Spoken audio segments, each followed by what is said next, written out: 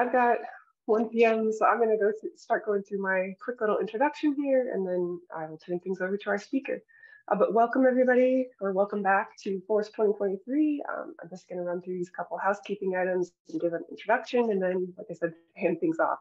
Um, so if you've just joined, again, Force 11 membership is free, and we hope that if you're not already a member, you will uh, take a look at the website and consider joining uh, joining Force, um, so you can stay in the loop about events like this and participate in our all of the other activities we've got going on.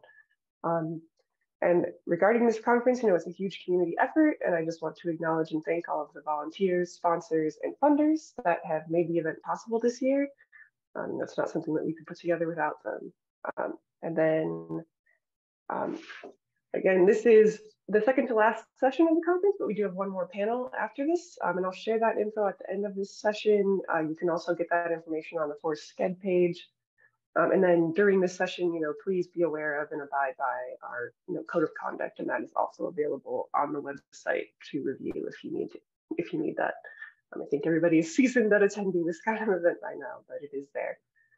Um, and then we do have another event coming up um, in a few months, the Force uh, Scholarly Communications Institute, which is an opportunity to, you know, attend different courses on the theme this year of um, the global enhancing the global impact of open scholarship. So there's actual courses, there's other events, and there's more information on that again on the Force 11 website.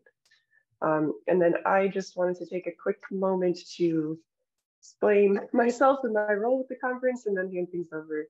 Um, so I'm Lisa Curtin. I've had the pleasure of participating on the Force Conference planning committee twice now um, for the 21 and then this year's Force 23 conference. Um, both times that was on behalf of ICSTI, the International Council of Scientific and Technical Information. Um, so I've represented them to the Force uh, Conference Committee. Um, I've actually just recently stepped down from my position as executive manager for ICSTI, but uh, I'm happy I'm able to finish out my duties to them and to the conference today by bringing this keynote session um, and I wanted to just briefly describe ICSTI and encourage you all to check out that organization as well. Um, it's an international NGO that brings together institutions and organizations. Uh, you can see some examples of our members here. Um, all of these organizations sort of fund research and provide research and scholarly communications infrastructure um, to varying levels of those two things. Um, ICSTI supported the Force conference for the past few years because um, it shares in that goal of increasing accessibility to and awareness of particularly scientific and technical information for ICSTI, um, and so wants to support innovation and collaboration in that space. Um, so if your organization is one that sort of provides research funding or infrastructure or works directly with or in support of organizations that do that, you know, I encourage you to look into ICSTI a little bit further.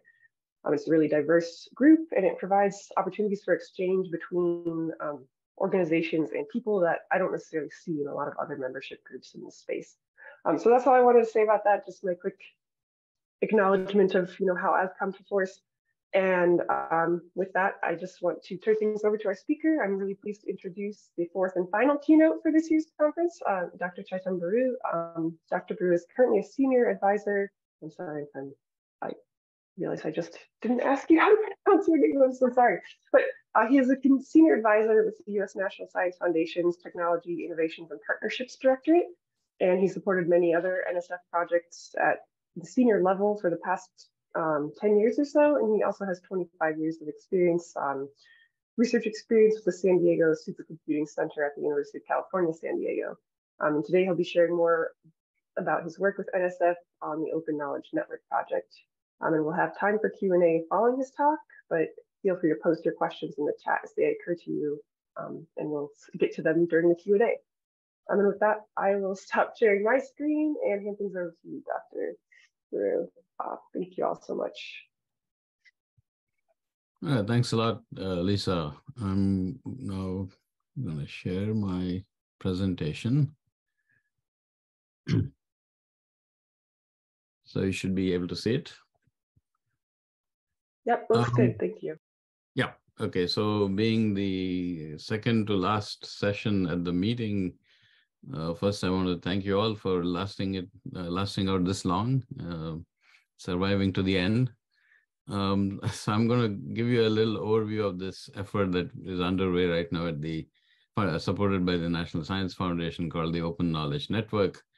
Uh, I have a few slides. I'm sure I'll take much less than one hour, so there should be plenty of time for um, for Q and A. Um, so the vision for this uh, concept of a knowledge network started uh, a while ago um, at NSF. Um, so it's basically a vision for interconnected uh, network of public data, uh, you know, to power the next generation of AI and so on and as you'll see from the dates, it, even started in 2017. And of course, you all know how uh, this field of AI moves. Uh, I think we heard about ChatGPT maybe now in November of last year, and already the world seems to have completely transformed. Uh, nonetheless, I think this notion of representing information in this way and at this level and based on real data is absolutely essential and valuable. Um, at the very least, now now we have the word we all talk about hallucination at the very least to stop things like that. But but you know there are many applications that really are driven by this. So the original vision for this was out of a effort that NSF had way back in 2017 called it was about when data science and big data was just beginning, if you can think back that long ago. Uh, it was called Harnessing the Data Revolution. And in that, we put one of the, there were many ideas that were put forward, one of which was that we do need to represent uh, the information that's carried in data at sort of a knowledge level using concepts like knowledge graphs and the networks that connect all of this together. There was an interagency workshop that produced a report, uh, which actually involved industry. There were people from a lot of different companies there, including IBM, Bosch, uh, also Google. And actually, since then, Google has started building something called the Google Data Commons, which is also based on this notion of uh, creating you know, using things like RDF and schema.org to represent the data so that we can do much more uh, useful things directly with the data. Uh, so that was uh, in 2018. Um, in 2019, NSF uh, created a new program called the Convergence Accelerator, which I, I was also affiliated with, which operates in tracks. Each year, tracks are um, basically advertised, defined by NSF, which are really technical uh, topics on which projects are invited. And the very first track was on the Open Knowledge Network, creating uh, these kind of knowledge graph structures out of data um, going forward. And I'll say a little bit more about that in the uh, subsequent slides. Going forward in March 2021, there was uh, something called the National Security Council on AI in the US that put out a report um, in which it explicitly said that you know a knowledge network uh, that connects public data is an essential component uh, of AI uh, for the future. Uh, there was a special issue of the AI magazine that had a bunch of articles that actually covered a lot of the projects in the Convergence Accelerator from before. Uh, and then in 2022, uh, we ran a so-called innovation sprint to discuss and talk about, uh, to have a community discussion about what does it mean to build a prototype of such a network uh, that went from February to June of 22, produced the report in September, and these are all resources available online. Uh, and finally, and the thing I'm going to talk to you more about today is uh, just in March, no, last month, March, we announced a, a solicitation in the US uh, for building the prototype uh, open knowledge network uh, which is proposals are due uh, in June, June 20th. Um, so talking a little bit in terms of what was uh, what has been the what we call program activity. In other words, what have been the things that were actually funded along the way, um, at least by NSF. Uh, I mentioned the Con Convergence Accelerator Track A, which started in 2019. The way that program, I won't go into the details of the program, but just very quick, the way it works is there's a phase one uh, of those where in this case, we funded 21 phase one projects, which received funding for about a year to basically work out their team, work out the details of what they're going to do, um, get their partnerships going, ensure that they've identified the right customers for what they're trying to do. It's really about acceleration, accelerating research into uh, practice. So it's like a translational research activity, as we call it. And from those phase ones, we select uh, phase two uh, projects. So phase ones are allowed to apply for a phase two. We funded five, which went for two years. They actually received $5 million for two years, which is quite a lot of funds um, because the idea is to get things done. You know, uh, in some sense, the budget should not be the limiting factor here because we want people to start implementing and, and uh, building prototypes. Um, so the funds, the projects we funded in that phase two are, are listed here. Once again, you can do sort of Google searches and find their websites. They each of them have a website and have presence on the web with papers and so on. One was called the KnowWhereGraph, uh, which was about uh, recording spatial information, and that's uh, Krzysztof Janowicz at UC Santa Barbara who leads that. Another one called Scales, which is actually about judicial court records. For the first time, court records were being actually represented through knowledge graphs, and they had to work on some very core basic ontologies to record judicial events and so on. And that's uh, led by Luis Amaral at Northwestern University.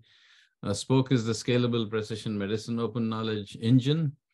Um, uh, self-explanatory, is basically biomedical databases. I think they put together 40 different biomedical databases with the goal of actually using it all in medical practice uh, eventually but also maybe for things like drug discovery and so on. Um, Sergio Baranzini at UC San Francisco leads that. Uh, the urban flooding network is about capturing flooding events in, in urban areas, and, and Lilit the Yeghiazarian at uh, University of Cincinnati leads that. And the last one is more uh, on building tools and um, sort of building a set of tools and sort of programming environments to make it easier to build these uh, kind of knowledge uh, graph and knowledge networks, a lot of common active uh, uh, uh, procedures that have to be done to convert the data into graphs, and that's led by Mike Cafarella, who's now at MIT. Um, as I mentioned, the second step after that was this innovation sprint that we ran, which was a fully volunteer effort. Uh, this was not something NSF funded actually, but we kind of organized it. Uh, it was joint actually between NSF and the White House Office of Science and Technology Policy, who are very interested in these kinds of sort of public infrastructures to uh, facilitate AI and, and data access. Uh, and basic idea of that sprint was that this whole thing really needs to be driven by use cases. So if you're familiar with things like knowledge graphs, it's not just about you know, uh, whipping out a bunch of technology and putting a whole bunch of data together, it has to be in some context. You know, who's going to use it? How are they going to use it? And that does influence how you design the system and what you do with it. Uh, so use cases was an important part. And as I mentioned, we are now here uh, with the solicitation, which will be the next sort of funding uh, vehicle to move this forward. Uh, the current uh, effort is a multi-agency effort in the US. So it's led out of NSF, but involves NASA, National Institutes of Health, National Institute of Justice, NOAA, and the U.S. Geologic Survey. Uh, several other agencies are also interested and, and, are listed in the solicitation. They we didn't have enough time to sort of go through all the things needed to put them in the front on the front sheet, so to speak. But it's uh, DARPA, uh, Department of Transportation, the U.S. Army Research Labs, and VA's the Veterans Affairs. So a lot of government, federal government interest uh, in using these technologies and basically unleashing the power of the data that they all carry. And as you may know, federal government has tons of data. And this is just to give you a sense of, uh, you can imagine from February to June was a, quite a bit of activity. We had over 200 people engaged in the whole thing. So there was a lot of different things were discussed.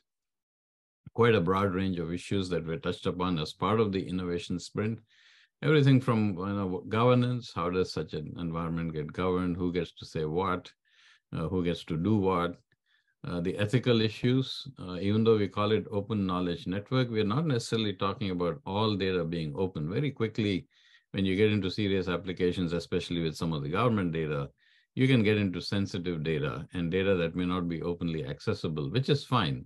In that case, really what we mean by open here is an open systems approach, that we are all doing things in a similar way, so that if two agencies want to connect, it's much easier for them uh, rather than each time being a special lift.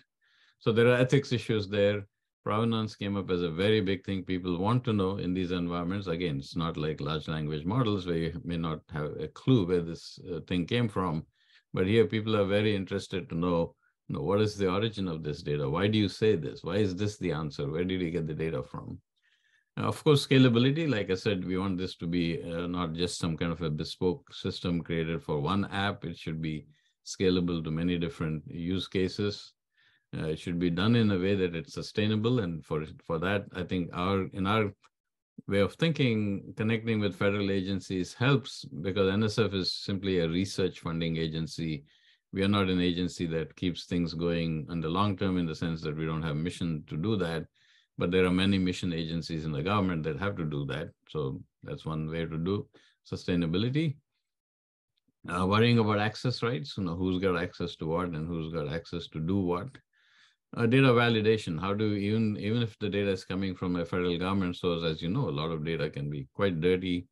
Uh, how do we validate it? How do we make sure we are getting the right thing? So these are kind of the issues that were discussed. Um, there was also a discussion that the architecture, technical architecture should be sort of agnostic to the use cases and that there are, there are more than one way of thinking about how to implement these strategies, uh, more than one way to do governance, uh, of course, many different aspects of ethics and so on.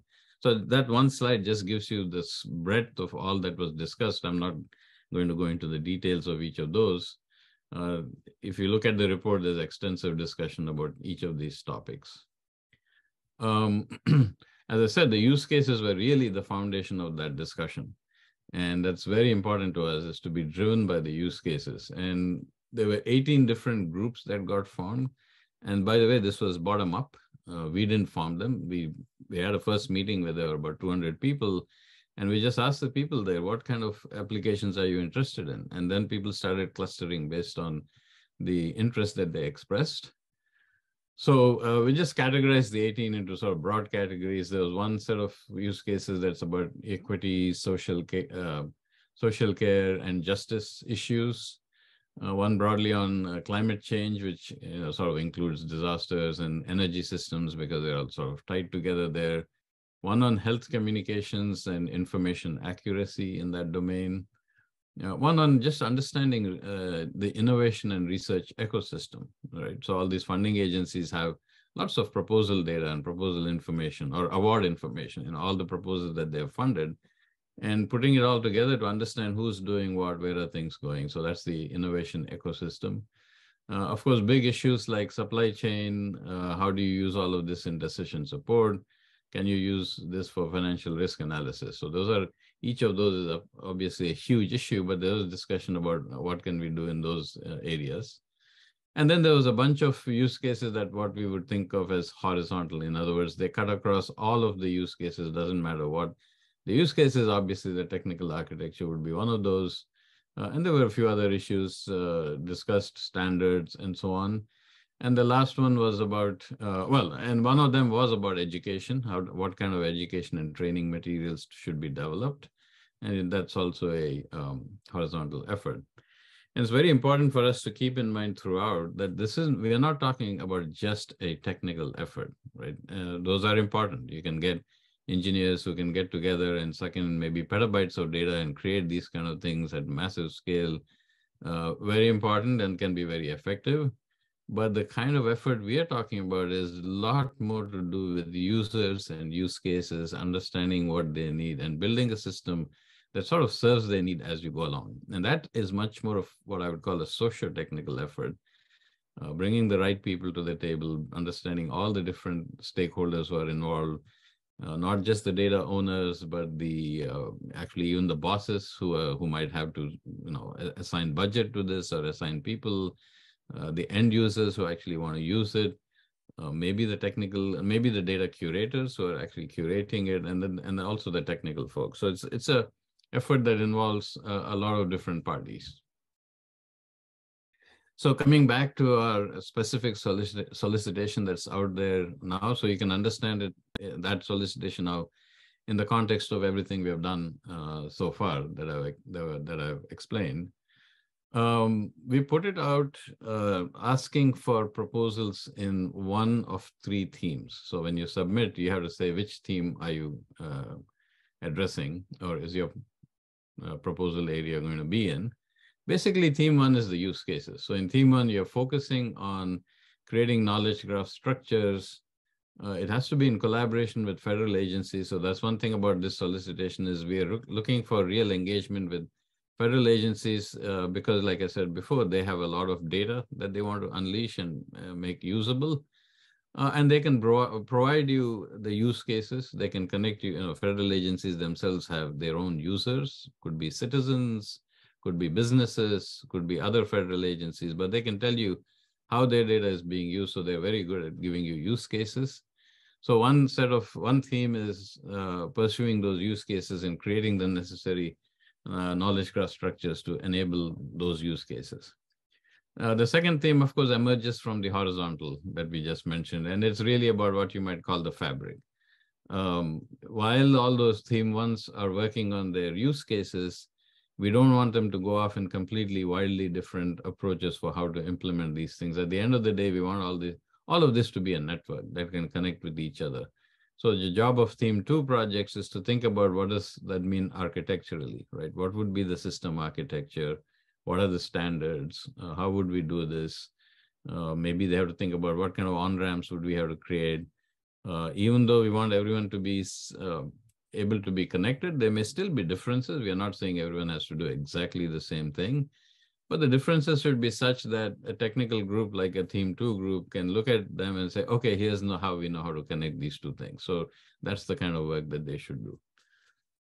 And another important thing that we identified, as I mentioned before, was education and outreach. And interestingly, it's at all levels, everything from the ordinary citizen, because if you're trying to put this out as a public facility, you want to be able to explain why are you doing this, right? Why is, let's say, government investing their resources in creating such a facility? How does this help the end user, the, the, the citizen?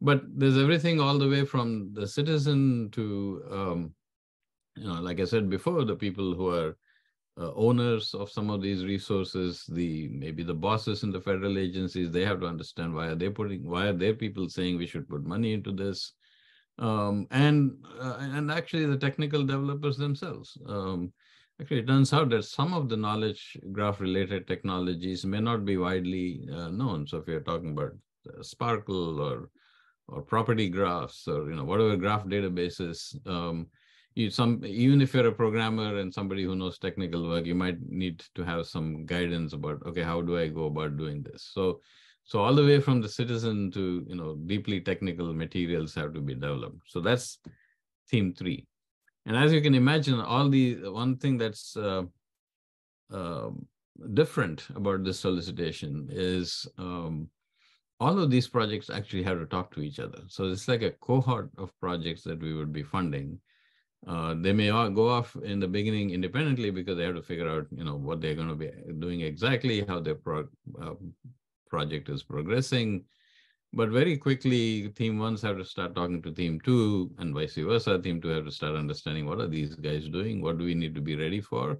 And they all have to talk to team three because educational materials have to be created uh, that support all of that. Uh, so just to dig a little further into these, uh, and I can go through this pretty quickly. Uh, theme one uh, should have um, sh should um, have already identified uh, key public data sets. That's why they should have worked with federal agencies before. So this you're not receiving money to come and say, okay, now I'm going to think about what data I need. You should already know that. Uh, data should come from typically more than one source because we're not talking about projects which are just taking one database and enabling it. The whole idea here is to deal with the sort of networking aspect. Maybe you have to uh, define um, you know, border ontologies uh, that connect things together. You have to worry about how to articulate uh, between two different data sets and those kinds of issues. Um, when they're in the proposal, they should be very clear about how they're going to do it. So part of this is not again saying, well, once I get started, I'll, I'll figure this out. You should have a pretty good idea how you're going to do it. Because that's the idea of prototyping. Because even when you have a pretty good idea, when you actually start doing it, there are going to be some issues. And that's what we want to deal with. And uh, not that you're brand thinking about the ideas as part of uh, the project itself.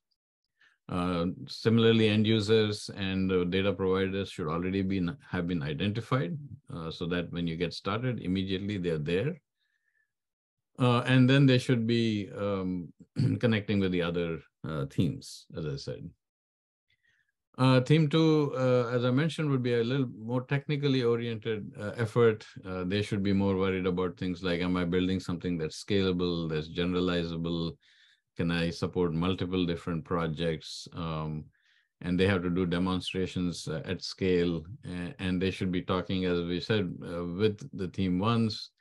Uh, so in some sense, the kind of things that these projects need to be able to uh, demonstrate is that A, they have the technical skill, uh, one, they have the technical skill to do the job, the technical job.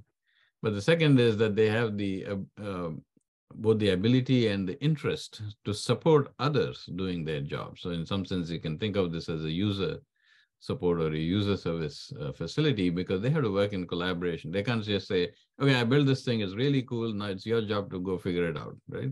They have to actually be willing to help. Uh, so they have to have that sort of open and collaborative approach because um, sometimes even they may learn from the theme one, let's say. They might not have thought about some issue and a particular theme one might say, oh, actually, we need a system that can do XYZ, and they should be willing to say, oh, yeah, we, we, will look into how to fit that rather than saying, no, this is the model and you should make it work here. So again, hopefully you get a sense of the kind of things we are looking for. And I already mentioned theme three, we are looking for education and training uh, materials uh, to basically impart the message to a variety of uh, stakeholders. Um, I think that's probably enough to say there. Okay. Uh, the project is driven by deliverables. We actually plan to have a kickoff meeting where we bring everybody together in the beginning so they all meet each other and understand that they're going to be working as a cohort. Uh, basically, there's a one year um, deliverable of an alpha version of whatever it is you're doing. But before the one year, somewhere along the way, I think in six months, you have to say what your alpha would be. And NSF uh, we, and our partner agencies will all work together and, and look at the what they are saying and give them feedback and say, okay, yeah, that looks good. Now go do it. Uh, similarly, at the end of second year, you get uh, a beta of whatever you're doing. And somewhere up front, you should also be very clear about what you think your alpha and beta are going to be. They can evolve as you go, of course. And then uh, before the end of the project, so before the 36 months, these are all three-year efforts. Uh, in the 30th month, you should then have your deployment of the prototype which that six months allows for, you know, maybe there's some slippage or you want to do more cool things after you've deployed it and so on. So once again, the notion is it's a, it's there is a schedule and we have to meet these schedules. And these are going to be projects where we might even decide to stop funding a, a project if it's not meeting the schedules. Uh, so as I say, we have a kickoff meeting. We have quarterly meetings to monitor uh, what's going on and then kickoff meetings uh, each year. Uh, these are all three-year uh, efforts. So that's uh, really uh, all I had to say. Um, there is a couple. Uh, there's a couple of um, yeah, you know, maybe I can say that you know the fact that we had that innovation sprint and all the agencies and the community that got involved. There's a lot of excitement around this, which is obviously why we went forward and even created this program and I think it's, it's, the moment is there. People are very interested in understanding. They realize that you know just saying, okay, my data is here, it's open is not enough. You have to do go to the next step, make it more accessible, and doing it through these kinds of structures is, is one way to do it. And I, I would argue that all the recent stuff that's happened with large language models and all that only makes this even more critical that we have real data, uh, actual data which has to be validated and provenanced and all of that, of course, but that you actually have systems that serve you real data rather than some hallucination of what you think the data is. Um, so a couple of, uh, in that vein, there have been a lot of events and like you all invited me uh, here, uh, thank you for that. I've been going around, you know, talking about it only, and, and actually this meeting I'm attending is in between another meeting going on today uh, by something called the uh, BIRDI, which is the Bo Board on Research and Data Infrastructure, which is the National Academy's board. Uh, and actually, they're talking all about the FAIR, okay? And, and clearly, this is part of FAIR, you know, findable, accessible, etc. So a couple of events coming up. Uh, there's a knowledge graph day where there'll be another presentation on OKN there, uh, which is part of the ACM web conference, and that's on April 30th in Austin. Uh, and then we are running in OKN workshop. So there you'll hear uh, more details of some of the projects I mentioned uh, today, as well as um, this is the Knowledge Graph Conference, if you're familiar with it. It's a very uh, interesting venue because there's a lot of industry presence there. So we'll have several talks from industry um, uh, about what they're doing uh, with knowledge graphs and so on. So it'll be a combination of academic and industry presentations at this workshop, which is on May 9th uh, at Cornell Tech in New York City. Uh, but the workshop itself is actually an online uh, event. Um, so I think with that, uh, more than half an hour is available for Q&A if you want to uh, engage in any of that. So I think, Lisa, I'm, I'm done. All right. Well, thank you so much. I, that was really informative. I think, and you know, I think the project is huge and has huge implications. So I'm hoping we've got some good questions here. Um, so, folks, if you want to put them in the chat, you know, please put your questions there, or I think, I don't know if I have to do this or Todd, but you can raise your hand or unmute and ask a question that way. Um, but just uh, something I'm curious about because it's something that's come up in my own work is, you know, what has the experience been so far with bringing so many agencies together? I mean, there's a lot of excitement about this project, but I know every agency has different priorities, different kinds of data. Like, what what have could you speak a little more maybe about the conversations that have gone into this so far about making this such a collaborative effort between the agencies? Yeah, it's actually a great question. In fact, I just realized one of the slides which would have, I, I didn't mention one thing which I will now. Um, but it's a great question because I think I would say what we're finding in common across agencies is the really the pressing need to make their data available um, not just because you know the higher ups are saying it and everything from the White House down. if, if not just this administration, it started even in the previous administration, the push for opening data and so on. But I think uh, you know this generation of people who are in charge of the data in the federal government or whatever see that there's tremendous amounts of valuable data that can be used for so many different applications. In the case of government, it's about um, it's also about providing services to all the citizens, making things easier and more useful for citizens. And, and, and government folks are, I would say, are really motivated to do things like that. So that's the common fabric because everyone, uh, and, and if you're in the federal government, you, you'll realize what valuable data you have, right? You're sitting on some fantastic data sets, which could be used in so many ways. That, that's sort of the common thread. Uh, however, it is true that uh, you know different agencies have different amount of budgets for this kind of thing to be frank okay you might you might see an agency that looks very huge but actually their budget may for this activity for digital activity may not be so much uh, so one thing I'm, i think we are finding is there are agents uh, agents federal agencies that are more sophisticated about these technologies uh, versus those that are less everyone is aware no, nobody's clueless about this it's just that they've not had the resources to do it and, and so on. That that's one. Uh, so the, usually the way that reflects is, uh, and I'm sure you all know this. If you're, I'm a computer scientist. I've worked with all sorts of scientists before. If you don't know what a technology can or cannot do, sometimes you come in with either what you might think of as very naive questions. I mean, you might say, "Wow, that's you know that's like really hard to do. Or you might come in with a question they, they think i have this hard problem and you as a computer scientist you say well that's very easy to do. That's not a hard problem. So you know just finding the level set which is why again engaging with users and use cases is important. So you understand really what do they want and can we pull that off i won't name which agencies because that wouldn't be fair uh, but you know different agencies have different sophistication Having said that, one of the agencies that is very sophisticated about this is NIH, uh, National Institutes of Health. Uh, and actually, interestingly, they are part. So most of the agencies, I mean, all the agencies uh, who are partnering with us are really partnering on theme one. They all have, if you look at the solicitation that's online, there's actually text in the solicitation from each agency saying, we are interested in solving this problem Sometimes the problems are kind of narrow, sometimes they're pretty big, you know, climate change or something like that. Uh, but that, but basically they're coming in with use cases. NIH is different. NIH is going to be in theme two, which is the common architecture, because NIH has said, look, we've already funded, what NIH is suffering from is they have funded a lot of knowledge graph efforts across so many different, essentially diseases or so many different parts of the biomedical data space. And they really want all of these to come together.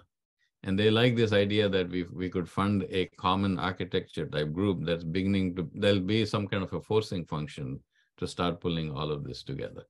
So that's sort of been our experience. And to the point earlier, yeah, I, will be happy to make these slides available. you can post them. Thank you. Um, yeah, so we've got some additional questions here. Um, uh, asking about if there were any particular offices or institutes within NIH that are specifically working with you all, but I don't know if you, I guess you've kind of covered that already. Um, well, I mean, question. Oh, I, uh, well, let me just say something on that. So again, if you see the names there, there. So Haluk uh, Resat is our colleague from NIH, and I think he's in the office of data science strategy, which is sort of uh, in the sort of so-called front office. This is in the office of the director of NIH. And if you understand NIH, actually NIH is a 27 independent entities, some of which are pretty large, like NCI and so on. Um, however, we've also had direct communication. In fact, next week, one of the next month, one of the talks I'm giving is a knowledge graph meeting that the NIAID, National Institute of Allergy and Disease, um, is is doing, and I'm going to give the kickoff meeting. And the reason I mention it is, you know, just to show that you know they're interested, right? and they're one of the institutes within NIH. Yeah. Mm-hmm. Yeah. Um, thank you. And then I see there's another question about the ethical considerations. I know you mentioned that that's been a big part of the conversation for the roadmap. Uh, so she was asking uh, if you could expand on the ethical considerations of knowledge networks at this scale. This is obviously operating in a different legislative framework to the EU and the UK, but she's wondering about the risks to data subjects, you know, how those are assessed and managed in or how you've cut, or at least what conversations have been had about that. I think about bringing yeah, no, together thanks. data from so many sources. Right. Thanks. Thanks for that because there was serious conversation on that. Uh, as I said, we had a broad set of folks involved in that sprint, and some of them were from Veterans Administration, um, National Department of Justice, um, uh, and of course NIH. And uh, you can imagine Department of Justice, Veterans Administration deal with extremely sensitive data. Um, actually, again, if you look at the solicitation, there are three different uh, ethics frameworks that are explicitly mentioned. And basically it says you should follow things like these or, or similar frameworks. Um, so I'm sure if we get proposals that are talking about criminal justice data, uh, and actually the uh, use case that the National Institute of Justice has put, which is in the solicitation, is related to gun violence. And so it's very sensitive uh, private data. Uh, and we would be expecting those projects to say something about what are the ethical considerations that they're going to um, adhere to and how does that get operationalized in a technical way and so on and so forth. But the reason, but the, I'm saying that because so there was a very, very energetic disc, and, and the reason, by the way, those things are explicitly mentioned is because they actually came up in the innovation sprint, and there was a very energetic discussion throughout. Uh, you know, we had some people, including from VA, who said, no, the very first thing you should say in any of this kind of effort is ethics. You should start with ethics. You cannot start with anything else. So it's a very, and then they pointed us to, I think it's the VA that has actually a list of rules that you must follow. Now, the distinction, I think, as you implied there, is not everybody has that kind of private data. Okay, so NOAA has, you know, different geospatial information uh, NASA has, you know, biology in space, you know, Martian biology. Also, the weird things where there are absolutely no such considerations. There may be other ethical considerations in terms of how are you providing access, or are you somehow making building a technical infrastructure that creates a barrier for certain people to use it. Again, education comes there. Uh, so we have to worry about the full spectrum. Uh, and so I would say that'll be interesting as we go forward but we absolutely have people and agencies involved here who care a lot about the ethical. And last thing I'll say is I do agree. I mean, uh, this whole ethics issue. I'm I'm a computer scientist, but I started looking at it when I was first at NSF five six years ago as senior advisor for data science, and I always felt that Europe is leading the charge here. I think US is just always catching up, which is unfortunate. So I do agree. I think we look to Europe quite a lot. Even in our discussions, a lot of examples given say, well, look at what the Europeans are doing, right? So I think I think that's a good thing for us. Uh, they, at least we have somebody to follow. Yeah, there's definitely I think a different level of protections built into some of their laws already that you know we're still yeah not yet have not yet arrived at in the U.S. Um, is it, oh, got a question from Todd. Um, to what extent is the adoption of persistent identifiers a core component of the Theme 2 infrastructure effort? Uh, is there work needed in the world of identifiers, metadata, or ontology development that would support this infrastructure? I guess kind of where have persistent identifiers come into this conversation so far? Yeah, uh, first I'll say yes, Ishwar is absolutely involved. so that was the earlier question. So Ishwar is very much part of this. When I was at NSF last time, we had many discussions together. They're all, I would say, fans of this effort. And Haluk is basically representing Susan Gregurick and Ishwar, uh, Chandramouliswaran. Um, yeah, to this question, uh, I actually have uh, a meeting with um, the identifier uh, Bob Kahn.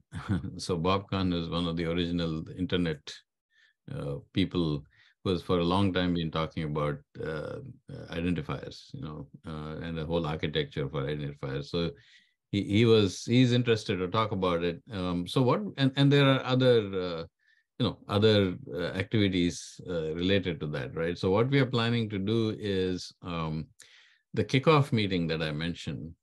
We are planning to invite some of these very key external groups to that kickoff meeting because we don't want these projects to work in a vacuum or not knowing what else is out there. Uh, this is really a prototype building activity. Uh, it's not a research activity in, in a typical research project sense where you just go and explore the thing and so on. No, if there is something that's useful and out there that can be used, we want you to use it. So that actually would be one of the tasks of Theme 2 project. Uh, because maybe we don't need, uh, you know, some theme ones might already be worrying worrying about, okay, what, what are my unique identifiers and so on. Some of them may not even know that uh, which would be okay because we'll say, okay, team 2, it's your task to figure out what's the technical infrastructure for this kind of stuff. And then help these other folks figure out how they can maybe adopt that. Or if a team 1 says, no, we got our own, okay, then Theme 2's job is to figure out how to deal with it, that these guys have their own and what does it mean? So yeah, absolutely. We, we want to be completely aware of everything else that's going on. Don't reinvent anything. Thank you. Yeah. Um, I think jumping off that question, Violetta has one in the chat, and I think you can see it, but I'm reading it for the recording. She said identifiers in the knowledge graph environment will need to be abiding by the W3C standards on web IDs and RDF format, right? Um, I guess right. has that been established? Or? Yeah. yeah. that's basically what we want to do. And if there's any absolutely standards, uh, W3C being one of them. So in case you're familiar with a name like Ora Lassila, who's one of the original web semantic web people, uh, and he's now a senior uh, engineer at Amazon. Uh, Ora was involved in the innovation sprint completely from beginning to end. Um, and, and uh, once again, so people like that will look at this and say, there's, there's nothing new here. We've, we've talked about this 30, 40 years ago. Yes. So this is not a computer science research project. NSF funds computer science research. This ain't it, okay? Uh, and we actually, NSF has funded a lot of the work that has led to these kinds of things. Um, uh, but this is about prototyping the reality of taking data and making it happen. Uh, we would like it to be uh, absolutely standards based. Um, no, we'll have to see if somebody deviates from a standard. We maybe will say, "Why are you doing this?" But ideally, we'll say, "No, you can't do that. Um, you have to put it into RDF or whatever that format is, uh, or at least make it look like that, so that if somebody else is coming from outside and says, "I want to consume this as a standard form, like whatever it is, RDF," they should be able to. And you should not be able to say, "No, no, mine is a totally unique thing, and you have to write a special piece of code to access mine." That that would not be allowed. Okay, that had been sort of a question I had as well, and I think it's really just a theme two goal to sort of work towards these standards or establish the standards to make sure that the different graphs theme one creates are inter can be interconnected and interoperable. Um, and that's yeah, absolutely. I mean, like a uh, big what- undertaking. it's a big undertaking and you know we'll only show off what we can it's, this is only a you know in any case there are always finite amount of money. In this case we have 20 million dollars so it's not a huge amount of money but you know 20 million is not peanuts either. Um but but um you also mentioned ontology. So one of the horizontal groups was a discussion about ontologies and, and we we wanted to go we want to go ontology light in the beginning. In other words you don't want this to be a project that just gets sunk in the ground because of ontology discussions that never end, right? And, actually, NIH, uh, they will also agree, have some of those. And actually, they have very successful ontology efforts. And that's why they're saying, well, we've already funded that. We want now to see how to connect all this. But the one uh, group we had that was discussing is actually called the NIEM ontology. So for those of you who are familiar, NIEM is an old acronym. So, so again, people say, well, it's been around for 20 years. Yes, so why should we throw it out, right? I mean, think of it the other way. They've they've actually going on for a long time thinking about all of this, and they've actually figured out a lot of federal data how it can interoperate using the ontologies. Now they are also moving it forward to the new. Uh, they don't they didn't say ontology until now, but now they're moving into this ontology world. So technically, they are also trying to keep up, uh, and that would be part of it. The other thing I didn't uh, say so we plan to fund up to two theme two efforts uh, in the beginning, right? In other words, two different groups, uh, because if they're going to explore different aspects of the architecture, in the end, we're going to merge them into one because there aren't two architectures. There's going to be only one architecture. But you might need to explore the space a little bit, and maybe the space is so large that one project can't just do everything. Uh, so this allows us to fund two projects, but they'll be told at the end we are going to merge. We're we're going to have a technical advisory group of some sort that's going to say, okay, let's put all of these together and make one track, and that will be and that'll then be continued to be funded as the one effort.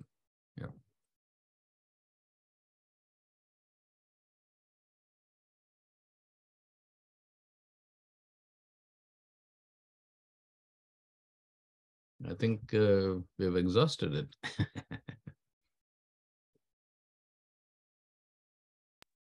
Lisa, I you're on. hear- Lisa, you're on mute. Lisa, you're on mute. Can't hear you. Sorry about that. Thank you. Um, I was going to say, or I'm curious, what um, across the themes, like what kind of organizations are you expecting to submit proposals? I know you've said you want potentially industry to be involved, but they may not necessarily be the main P- lead PI. Um, you know, where are these proposals coming from? Who are you hoping submits to the OKN? That's a very good question, and I have to. So I, I'm at the. I'm in this new directorate at NSF called TIP, as was mentioned, Technology Innovation and Partnerships. And one of the things we have innovated at NSF, you know, two years ago under the Convergence Accelerator is. Uh, this is now getting a little technical, so I apologize if you. Uh, is issuing something called Broad Agency Announcements (BAAs). Uh, and federal government BAAs are the things that industry looks at. They, they don't look at uh, what NSF typically issues, which are called solicitations. The NSF solicitations are written for universities, and, and industry doesn't look at those. Uh, having said that, uh, and, and the reason we do it in TIP is because a lot of our programs, we want anyone to apply, and especially encourage industry to apply. Uh, but we, they all generally they require to be multi-sector. So you could be an industry, but you should have an academic partner, partner and so on. In this one, we went uh, in the more traditional way. Um, to be frank, partly because of the time, we didn't have time to do the whole thing. Um, however, it's very clear in the solicitation that we want to have. In, in fact, if you read theme two, we very clearly say we would like industry to submit under theme two, or somebody who looks like industry, meaning someone who understands what it means to run production systems and is willing to do all that kind of maybe dirty work, not just some computer science research professor who, th- who thinks, I have a grad student who could do this. So we're trying to avoid that. But but it will still be coming out as a solicitation. Uh, again, this is getting in the weeds a little bit. The only thing I would say is um, that only means, uh, in general, applying to NSF means that you should be certified uh, it's not exactly a certification, but you should be uh, vetted vetted by NSF as a as an organization that's allowed to submit to NSF. That involves a few financial steps. So that's the only caveat. If if you have not gone through those financial steps, that can take a long time, and you might not be ready. But the big companies all can do it. A lot of companies can do it. In fact, to be frank, I received an email yesterday from one of the uh, like a startup company that does exactly this kind of knowledge graph, knowledge network kind of stuff. And they want to submit and they want to talk to us about uh, submitting. So we're, we're talking to them. So yeah, it'd be great. We'd be we'd love to see uh, industry proposals in any of the categories. Doesn't matter really, uh, but it's just come out as a solicitation is the only caveat. Thank you. And if you've got another technical question, um, is a common API framework going to be in place to allow for queries via API and command line interface? Uh, people often think of knowledge graphs in, uh, from a visual perspective, but uh, Eric is curious about how much of a focus there is on data being machine readable and retrievable. Um, is there yeah. a technical document on this subject that would be better I to mean, refer I, to? not from our side because once again we are leveraging existing stuff so i would point you to w3c standards in semantic web and knowledge graphs absolutely absolutely they should be machine readable so it's not just about pretty pictures it's a graph but it's a graph that the machine should understand um, so our you know rdf representations uh, or, or things like that uh, the other thing that could happen, I mean, this would be interesting to be frank, you know, we'll see how it goes. But I mentioned to you that NIH is very interested in theme two. Uh, NIH has been running some projects themselves about trying to have knowledge graphs and integrate them. There's a project called the Data Translator that they have done. And uh, there is something called the Common Data Fund, um, uh, the Common Data Fund ecosystem, I think, uh, where they have funded a lot of data projects exactly to focus on what does it mean to create data infrastructure. Now they use something called the Smart API and you have you'll have to go Google search and read to see what a smart API is. Um, so you know, when we meet with them, they may very well say, "Well, you know, our projects are all using smart API. You know, so how do we do this?" Yeah, it'll be a technical discussion. Okay, what does what does that mean? Uh, if I'm saying W3C standards or some standard on this side, and you already have something there, which has been funded to a you know very good level, you can't throw out all of that. So we'll have to think about a technical interoperation there, but it all has to be standards. It all has to be machine readable.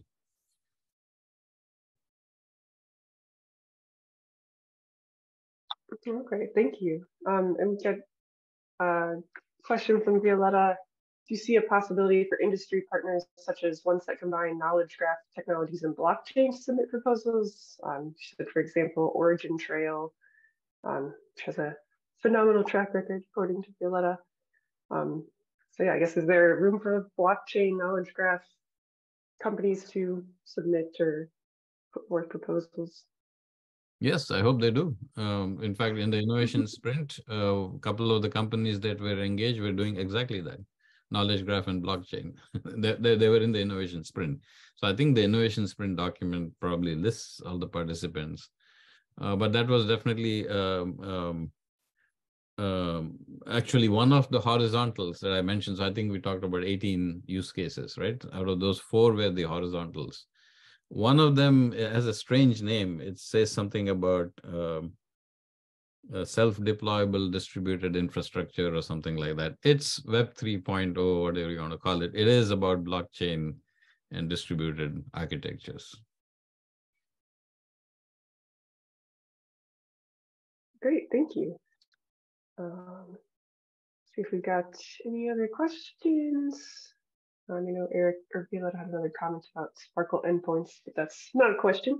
Um, but I think this has been great. Are there any other questions before we wrap up here? Um, I will, let me post my closing message in the chat just for everybody. Um, we have one more panel session today, like I said, so please join us at that. Um, but I think this was really great to hear more about the Open Knowledge Network. Um, if we have any more closing comments before I uh, no, I just want to thank everyone for staying till the bitter end. And uh, if you have any questions, you should feel free to send us send me email or There's also okn at nsf.gov. You can send email to that. Yeah, wonderful. Thank you. And thank you so much for joining us today uh, to everybody. And thank you, Chaitan, for presenting to us. Uh, this is really great. And I think a really great project for everybody here to hear about after all the other great talks we've had throughout the conference. Um, you know, I think it can tie in a lot of what so many people here work on. Um, cool. But yeah, everybody, thank you again for joining us. Thank you for your questions. And uh, we'll see you at the final session coming up. All right. Thanks, Lisa. Thanks for inviting me. Bye. Yeah, thank you. Take care all.